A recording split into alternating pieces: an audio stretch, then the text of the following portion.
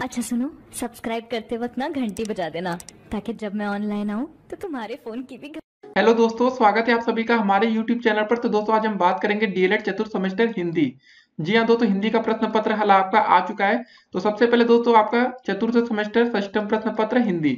तो दोस्तों, सबसे पहले आपको वस्तुनिष्ठ प्रश्न देखेंगे। चलिए दोस्तों, इस क्वालिटी को और अपग्रेड करते हैं। काफ़ी बच्चे कहते हैं, सर एचडी में दिखाया करिए। तो दोस्तों, आपके लिए फुल एचडी क्वालिटी आ चुकी है। तो दोस्तों, पहला प्रश्न था बहुविकल्पी क्वेश्चन में। ज़मीन पक गई है। काव्य संग्रह। दोस्तों, किसका काव्य संग्रह है? तो दोस्तों, ये आपका काव्य संग्रह है केदारनाथ सिंह का। तो दोस्तों, अगर आपने हमारी वीडियो देखी होगी लघु उत्तरी प्रश्नों की तो उसमें ये क्वेश्चन हमने बताया था। तो दोस्तों, कोई भी पेपर आउट ऑफ़ सिलेबस नहीं है तो आपको परेशान नहीं होना। तो पहला का दोस्तों, आपका आंसर है केदारनाथ सिंह। लेकिन दोस्तों, आज का पेपर काफ़ी अच्छा आया था, ठीक है ना? तो दोस्तों, हिंदी में पहला क्वेश्चन का प्लस वन आप करेंगे। दूसरा प्रश्न था दोस्तों, आपका देवेंद्र संधि शब्द में संधि है तो दोस्तों पूछा गया कौन सी संधि है तो दोस्तों इसका आंसर हो जाएगा आपका गुड़ संधि। ठीक है, जिन बच्चों ने इसको टिक किया होगा तो उसको एक नंबर और मिल जाएगा, प्लस वन करेंगे आप। फिर दोस्तों आज का, देखिए दोस्तों क्या और बता दें, इस संधि को बनाने का नियम दोस्तों क्या रहा? आ प्लस ई बराबर ए। ठीक है ना दोस्तों, इसको भी आप ध्यान रख सकते हैं। तीसरा प्रश्न हमारा रहा, तुम अपने कार्य में सफल रहो। वाक्य किस प्रकार का है दोस्तों, ये आपको बताना था। तो दोस्तों ये आपका एक इच्छावाचक वाक्य है। ठीक है ना, कौन सा वाक्य आपका? इच्छावाचक वाक्य। ठीक है, अगर दोस्तों, अगर आपको कोई डाउट लगता है तो आप कमेंट यहाँ करके बता सकते हैं। इसका सही आंसर होगा आपका दोस्तों, इच्छावाचक वाक्य। अब दोस्तों, अगला प्रश्न है हमारा, चौथा प्रश्न। देखिए, इसके लिए भी आप अपने आप को पहले प्लस का वन दीजिएगा, तीन नंबर हो चुके हैं आपके।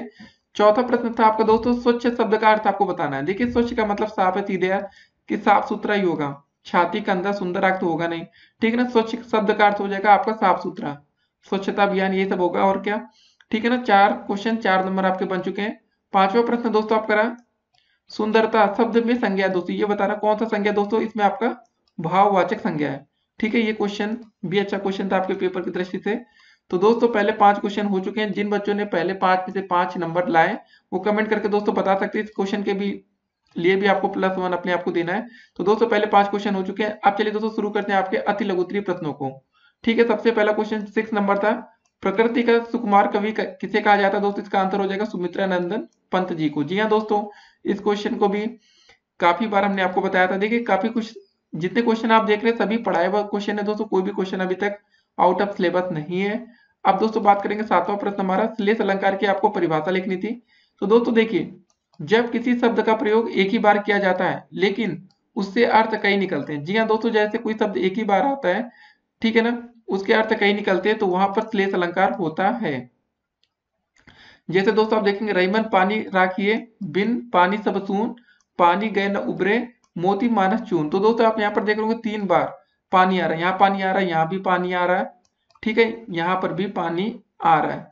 तो दोस्तों तीन बार पानी आ रहा है, लेकिन देखिए जब किसी शब्द का प्रयोग एक ही बार किया जाता है, जी हाँ दोस्तों, लेकिन उसके कई अर्थ निकलते हैं, ठीक है मतलब हर जगह इसका अर्थ अलग अलग निकल रहा है जैसे दोस्तों आप इसको डिफाइन कर सकते थे इस दो में रहीम ने। पानी को तीन अर्थों में प्रयोग किया है। पहला दोस्तों, पानी का पहला अर्थ आपका था मनुष्य के संदर्भ में। जबकि इसका मतलब विनम्रता से रहीम कह रहे हैं कि मनुष्य में हमेशा विनम्रता पानी होना चाहिए। दोस्तों, दूसरा पानी का अर्थ यहाँ पर था आभा, तेज या चमक से। रहीम कहते हैं कि चमक के बिना मोती का कोई मूल्य नहीं होता। और दोस्तों, इसी में तीसरा पानी का अर्थ था आपका जल से, जिसे आटे चूने से जोड़कर दर्शाया गया है। रहीम का कहना है कि जिस तरह आटे का अस्तित्व पानी के बिना नम्र नहीं हो सकता और मोती का मूल्य उसके आभा के बिना नहीं हो सकता, उसी तरह मनुष्य को भी अपने व्यवहार में हमेशा पानी या विनम्रता रखना चाहिए, जिसके बिना उसका मूल्य हाश होता है, अतः उदाहरण क्लेश अलंकार का है। तो दोस्तों, वैसे इस क्वेश्चन में आपको सिर्फ़ इसकी परिभाषा लिखनी थी, आपको कोई एग्ज़ाम्पल भी नहीं शो करना था। अगर आपने खाली इतना ही लिख दिया होगा परिभाषा एक लाइन की तो भी दोस्तों आपके क्वेश्चन के लिए प्लस वन नंबर आपको दे दिए जाएँगे। ठीक है ना? उसके बाद दोस्तों, आठवां क्वेश्चन आपके पेपर में क्या आया था? प्र उपसर्ग से बनने वाले दो शब्द आपको बनाने थे। तो दोस्तों, प्र से कैसे बना सकते जैसे आपका प्रसारित हो गया, प्रमाण हो गया, प्रकोप हो गया, प्रभाव हो गया तो आप काफ़ी बना सकते थे। ये आसान था क्वेश्चन दोस्तों, ये भी आप एक नंबर आपको देकर जाता। फिर दोस्तों, आपका पेपर में नवा क्वेश्चन क्या आया था? जो पुरुष अभिनय करे। वाक्यांश के लिए दोस्तों, आपको एक शब्द लिखना था। तो क्या होगा? जो पुरुष अभिनय करता है, उसको क्या बोलते हैं हम? अभिनेता। तो ये भी आसान था क्वेश्चन था दोस्तों। जो बच्चे टीवी मूवी देखते होंगे, वो उन बच्चों ने इसको सही किया होगा। अब दोस्तों बात करेंगे दसवां क्वेश्चन तत्र एक विशाल सरोवर अस्थि का हिंदी में रूपांतरण आपको लिखना है। तो दोस्तों देखिए, तत्र का मतलब होता है वहाँ एक विशाल सरोवर है। देखिए अस्थि का मतलब होता है दोस्तों ठीक है ना? जो दोस्तों आपका अस्थि है ना, वो वर्तमान होने की अवस्था को बताता है। ठीक है ना? इसको आपको ध्यान में रखना, तत्र का मतलब होता है वहाँ एक विशाल सरोवर है। अब दोस्तों आता है ग्यारह नंबर प्रश्न में। ठीक है ना? ये क्वेश्चन आपको समझ में आ गया होगा। हरि शब्द का तृतीय विभक्ति और एक वचन का रूप आपको लिखना था। तो दोस्तों, हरि का पहले तृतीय विभक्ति में और पहला वचन मतलब एक वचन में हरिडा हो जाएगा। तो ये भी क्वेश्चन आसान था। तो पहले दोस्तों, ग्यारह क्वेश्चन हो चुके हैं। देखिए, जिन बच्चों ने इसको पढ़कर गए होंगे, ठीक से वही बच्चे कर पाए होंगे। देखिए, आप देख रहे होंगे यार, इसमें आपका वैसे क्वेश्चन आए तो दोस्तों, बना के लिखने वाला सिर्फ़ एक क्वेश्चन था। इसमें सिर्फ़ श्लेष अलंकार को छोड़ दिया जाए। तो और ऐसा दोस्तों, एक ये क्वेश्चन था और दोस्तों प्रउपसर्ग इन दो प्रश्नों पर तो लगभग हर एक बच्चे नंबर पाएँगे, लेकिन बाकी क्वेश्चन में डाउट्स में रहेंगे।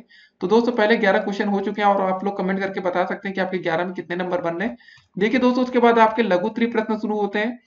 तो कबीर दास का दोस्तों, जो जीवन परिचय पूछा गया था, ये हमने आपको बता रखा है। अगर आपने हमारी लघु त्री की वीडियो देखी होगी कारक किसे कहते हैं दोस्तों, इसकी वीडियो बना रखी है। जीवनी एवं आत्मकथा के मूलभूत अंतर लिखे ये भी आसान क्वेश्चन था। तो दोस्तों देखिए, छह नंबर के क्वेश्चन तो आप लोग फ्री के ला सकते हैं। अगर आपको ऊपर खराब होगा तो छह नंबर के क्वेश्चन अच्छे थे। कहानी शिक्षण को उपयोगिता पर प्रकार डाली दो नंबर एक और फ्री मतलब आठ नंबर हो गया। और दोस्तों अपनी पाठ पुस्तक के चार पंक्ति का कोई श्लोक लिखना था। देखिए, किसी भी बच्चे को कोई भी अगर श्लोक याद होती, आज तक जो भी पढ़ रखा हो, अगर आप उसको लिख देते दोस्तों, काफ़ी अच्छा रहता। तो ये भी क्वेश्चन दोस्तों, दो नंबर का फ्री में, लेकिन काफ़ी बच्चे हो सकता है श्लोक पढ़ के ना गया हो। लेकिन जिन बच्चे ने पहले से याद होगा बचपन से कभी भी तो वो बच्चे इसको ज़रूर करके आओगे। तो दो सौ छह, दो, आठ, दो, दस नंबर तो दस नंबर दोस्तों, आप यहाँ से प्राप्त कर सकते थे। अगर आप कुछ भी पढ़कर नहीं गए थे, कुछ ना कुछ अगर इसमें लिख के आएँगे तो दस में से दोस्तों एग्जामिनर खराब से खराब हालत में आपको सात नंबर तो देखा ही देगा। उसके बाद दोस्तों देखते हैं, चलिए, सत्रह नंबर क्वेश्चन देखते हैं। सत्रह नंबर दोस्तों क्वेश्चन क्या था आपका? आइए देखते हैं।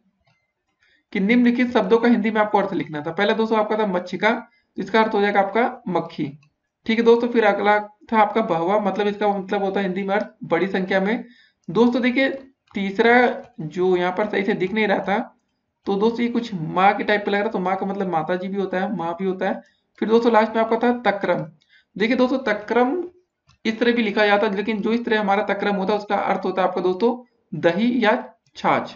ठीक है दोस्तों, अगर कुछ लिखने में मिसप्रिंट हो सकती है बुक्स में, ठीक है तक्रम का अर्थ क्या होता है आपका दही या छाछ, फिर दोस्तों अठारवा क्वेश्चन था, निम्नलिखित संस्कृत शब्दों का संधि विच्छेद आपको करना था। तो सबसे पहले दोस्तों मनोरता का करना था, जिसका हो जाएगा मना प्लस रथ। मतलब ये आपकी विसर्ग संधि थी, ठीक है ना मनोरता का आपका संधि विच्छेद हो गया। फिर दूसरा दोस्तों था आपका सज्जना का तो सत प्लस जन। ये आपकी दोस्तों व्यंजन संधि है। फिर दोस्तों तीसरा क्या था आपका बसंतोत्सव, ठीक है ना तो इसका क्या होता है? जाएगा दोस्तों आपका वसंतोत्सव का। देखिए, वसंत प्लस उत्सव। या यहाँ पर ब लिख दीजिएगा, कोई दिक्कत नहीं बसंत में। ठीक है ना यहाँ ब नहीं लिखा था ऐसे ब लिख दीजिएगा यहाँ पर। ठीक है ना तो ये हो जाएगा आपका बसंत प्लस उत्सव बसंतोत्सव का। ठीक है, आपका एक स्वर संधि है। और दोस्तों लास्ट में आपका था मध्वरी। ठीक है तो इसका हो जाएगा मधु प्लस अरी। तो दोस्तों, आपने देख लिया आज के टोटल 18 क्वेश्चन तो दोस्तों, ये अगर आपने हर एक क्वेश्चन को सही करके दो नंबर यहाँ के, दो नंबर यहाँ के देखिए, इसमें भी कुछ क्वेश्चन आज के पेपर का एक जो पेपर लेवल था, वो काफ़ी अच्छा था दोस्तों। ये तो हम देखा जाए तो हमको लगता है मैथ से भी काफ़ी कठिन क्वेश्चन इसमें पूछे गए मतलब जो बच्चे अगर इसको सही से पढ़कर गए होंगे तो बहुत ही अच्छा करके आएँगे क्योंकि देखिए, ये दो नंबर ऐसे थे दोस्तों, अगर आपने इसको थोड़ा देखिए मच्छिका का तो आपने अर्थ निकाल लिया होगा। लेकिन दोस्तों बाकी जो तीन थे, एक तो माँ था, उसमें दोस्तों सही है तो माँ ही हो जाएगा। तो दोस्तों, लेकिन पेपर आज का अच्छा था आपका। इतना भी आसान नहीं था जितना की उम्मीद थी। तो दोस्तों, इस वीडियो को देखने के बाद अभी आपका थोड़ी देर में, ठीक है, आपका इंग्लिश का पेपर सोल्यूशन आ जाएगा। लेकिन दोस्तों, एक बार चलिए अपने आप नंबर काउंट कर सकते हैं आपके कितने नंबर पेपर में बन रहे होंगे। सबसे पहले दोस्तों, देखते हैं अगर आपके पहले पाँच क्वेश्चन बहुविकल्पी के सही हैं तो बहुविकल्पिक दोस्तों हर एक क्वेश्चन लगभग ठीक था, पढ़ा हुआ था। तो दोस्तों, पहले पाँच नंबर में तो आपके कन्फर्म में पाँच में से पाँच नंबर आ सकते हैं। उसके बाद दोस्तों क्या होगा आपके अतिलोक उत्तरी प्रश्न में, जैसा पहला क्वेश्चन ये थे ठीक है, पहला क्वेश्चन ये तो बनेगा प्लस का वन चलिए दोस्तों बता दें कौन से क्वेश्चन आप करके आएँगे। पहला क्वेश्चन हो गया दोस्तों, दूसरा क्वेश्चन श्लेष अलंकार, दो नंबर हो गया। ठीक है ना? इसमें ज़्यादा नहीं लिखना था, खाली इसकी आपको परिभाषा लिखनी थी, बस और कुछ नहीं। प्रोपसर्ग से दोस्तों इसको बना लूँगा आप तीन नंबर तो यहाँ हो गया। जो अभिनय, जो पुरुष अभिनय करे दोस्तों, ये भी आसान क्वेश्चन था तो मतलब चार नंबर तो यहाँ से आपके बन चुके हैं। और दोस्तों ये वाला था, इसमें कुछ ना कुछ अगर आप लिख कर आएँगे तो आधा नंबर आपको मिल जाएगा। तो काफ़ी बच्चे कहते हैं, सर, बता दीजिए, कहते हैं, मार्किंग होगी। अब दोस्तों, हो सकता है ग्यारह नंबर क्वेश्चन आप ना कर पाए हो, लेकिन जिन बच्चों ने किया होगा तो प्लस वन वो कर सकते हैं। ठीक है, फिर सत्रह नंबर आपका था और अट्ठारह नंबर था।